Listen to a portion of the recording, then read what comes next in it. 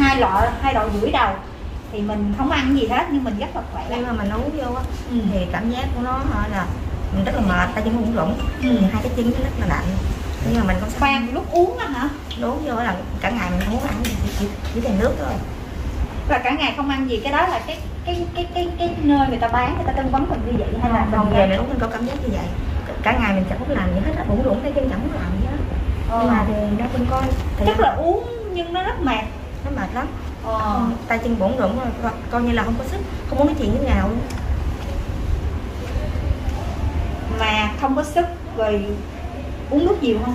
Uống nước nhiều nhưng mà cái chân lúc nào cũng lạnh hết à cái chân lúc nào cũng lạnh á. Rồi đi tiểu nhiều không? Theo lúc đó thì em nghĩ nó cũng sẽ có liên quan tới thời đó Ờ. tại vì tự nhiên làm cho chân mình lạnh mà mình mệt bụng rủng tay chân mình biết tức là lúc mình uống mình cũng hơi lo lo đúng không? lo lắm. nhưng mà vì vì vì giảm được hình như tôi nghe nói cũng khoảng sáu bảy ký đúng không? Xong rồi à, cái giảm được nhưng mà sau này lo lắng sau bệnh quá nên cái lúc mà uống cái hộp thứ ba nên ngưng lại nhưng lại có tập thể dục. Ừ. nhưng mà khi mình ngưng lại thì mình sẽ lên ký tiếp. Nó lên Vừa lúc, ngưng lại lúc ngưng lại là bắt đầu nó đỡ lạnh chân tay nhưng mà đầu ăn lại nhiều nhiều hơn so với cái lúc mà hai tháng mấy mà uống cái thuốc.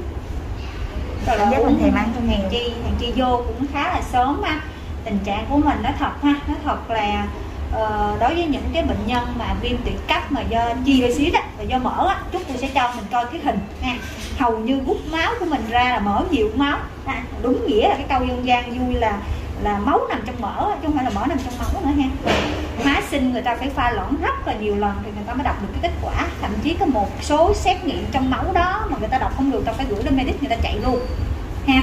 Và thật sự may mắn là có những ca ờ, có những ca trẻ thôi ha uh, với cái mức mà mẫu máu nó thấp hơn mình rất là nhiều lần. Nhưng mà khi mà nó vô một cái nguyên kiện cấp nặng mà hoại tử là hầu như là bệnh nhân phải vô hồi sức và tử vong. Cho nên cái việc của mình là may mắn là mình cũng vô sớm.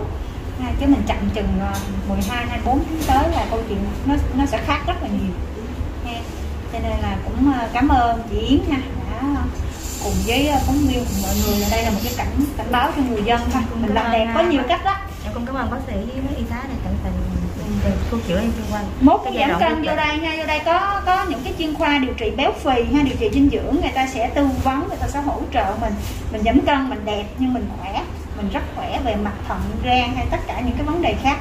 Chứ thật sự mình đang uống gì mà làm mình giống như là chắc tôi nghĩ là thải nước hay là cái gì cho mình mệt hơn thôi là mình giảm gọi là giảm cân giả tạo á. Xong rồi mình lại ăn uống nhiều lên ha sau khi mình ngưng thuốc mình lại ăn uống nhiều hơn và mình phải vô cấp cứu một cái tình trạng như vậy. Ha Rồi các bạn vẫn bệnh nhân xíu rồi em phỏng vấn chị nhé. em tạo điều kiện cảm ơn Như là cái tình ờ, trước đó mà mình, mình có nghe như thế nào mà mình quyết định mình uống cái thuốc này ai giới thiệu hay sao mà cân nặng lúc đó của chị là như thế nào? đó là đang đang trong cái độ tăng cân lắm cân nặng là 65 kg nhưng mà từ hồi đó tới giờ chưa bao giờ lên tới cái đó.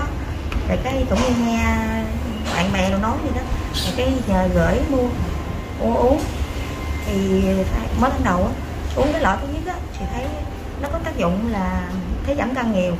Uống chỉ có ờ, chưa hết lọ mà xuống là 30 kg rồi bắt đầu uống cái nhưng mà cảm giác thì mệt lắm. Có thể là chịu không nổi luôn á nhưng mà cũng cố gắng. Cái lúc đấy là trung bình một ngày chị uống cái liều lượng ra sao và người ta hướng dẫn người có ai hướng dẫn cho chị uống như nào? ở trong thuốc thì có để là mỗi sáng là uống hai viên một cái một viên. Là một ngày là uống gì đó là một hộ hộp thuốc là là 30 ngày lớn một tháng. Thuốc đó giá như thế nào? Với với lại mà có dễ mua không chị? Ngoài tiệm thuốc tây nó có sẵn không? Tiệm thuốc tây cũng có bán nữa. Rồi nói chung là trên mạng cũng bán đại nhưng mà tiệm thuốc tây cũng có bán. Chị mua ở Chị đâu? mua ở đâu vậy? ở tiệm thuốc tây có bán luôn. Tức, vì sao chị biết được cái loại thuốc này để chị thì mua? mới ban đầu là bạn giới thiệu. Rồi mua về uống.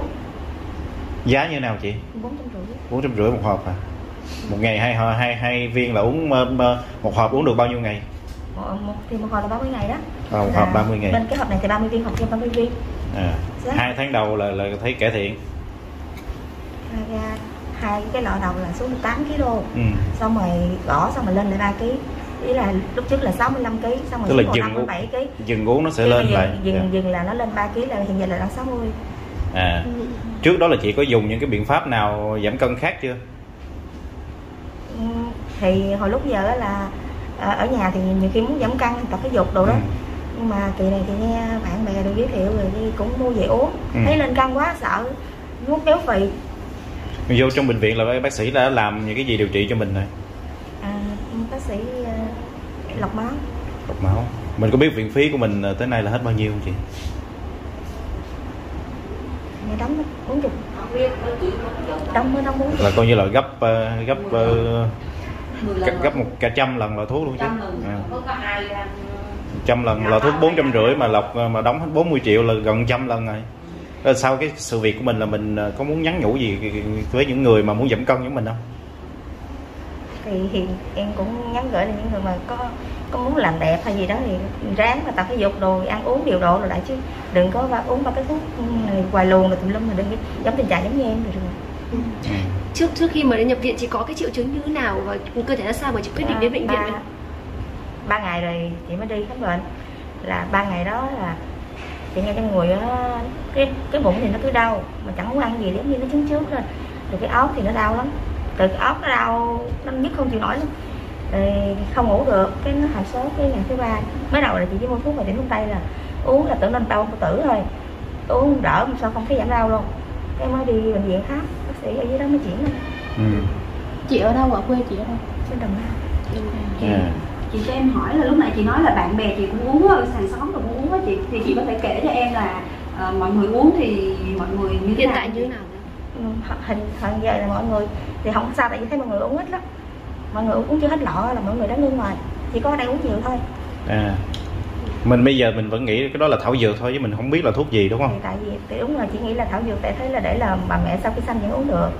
À. à. nghĩ là thảo dược rồi với ok lại chị. cái tiểu tay quá nó cũng nghĩ là chắc uống được. Rồi cảm ơn chị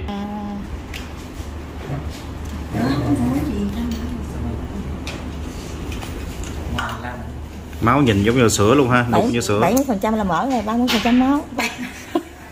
Đây nè đây thì vào thời gian vừa qua thì chúng ta có gặp nhiều cái trường hợp mà bị ờ, cấp cứu do cái thuốc giảm cân hay không ạ?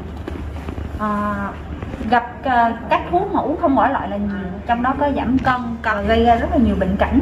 Ờ, trong đó chúng tôi gặp nhiều là những cái ca mà bị suy thận ha, bị suy thận hoặc toan chuyển hóa thậm chí ngưng tim luôn.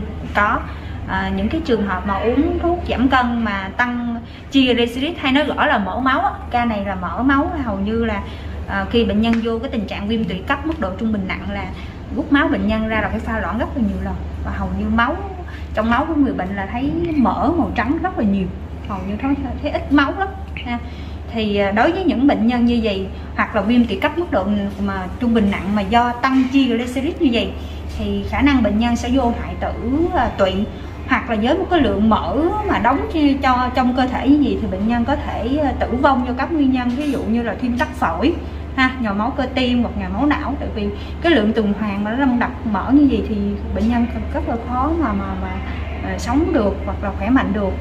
À, thì đối với trường hợp mà bệnh nhân này thì cũng khá là may mắn tức là khi người bệnh ờ, uống cái thuốc giảm cân rồi thì người bệnh vẫn cái này người vẫn vẫn đinh ninh là người bệnh vẫn hiểu là có khả năng bệnh nhân bị suy thận thì cái chuyện này mình cảnh báo rất là nhiều trên ờ, trên thông tin truyền thông rồi cho nên người bệnh uống họ cũng cảnh giác lắm. Cho nên là khi họ mệt là họ đã vô bệnh viện liền. Và đúng là xét nghiệm ra thì là tình trạng đúng như dự đoán. À, vậy thì bác có những cái lời cảnh báo nào đối với người dân khi mà à, thực hiện các cái quy trình giảm cân cũng như là mua thuốc ờ, trên thị trường cũng như trên mạng xã hội không? à, à, mình giảm à, khi mà người dân mà muốn giảm cân á, thì mình nên à, đến khám bác sĩ à, điều trị về béo phì hay điều trị về dinh dưỡng. Họ sẽ tư vấn cho mình một cái quy trình giảm cân cụ thể. À, giảm cân đây là giảm cân là cân nặng giảm nhưng mà sức khỏe vẫn đảm bảo về gan về thận hay về chất lượng cuộc sống. Họ sẽ có cũng có thể có thể những cái loại thuốc điều trị à, do bộ y tế à, à, chấp nhận. Và chế độ ăn như thế nào chế độ tập luyện thể dục như thế nào? Cân khỏe à, khỏe về tinh thần khỏe về thể thể chất thì về chế độ ăn hay tập luyện thể dục và những cái thuốc phải được đảm bảo là kiểm duyệt của bộ y tế và được phép lưu hành. Cũng như là khi giảm cân như vậy thì phải khám định kỳ coi các cái chức năng cơ thể là gan thận hay là tụy có bị ảnh hưởng gì hay không.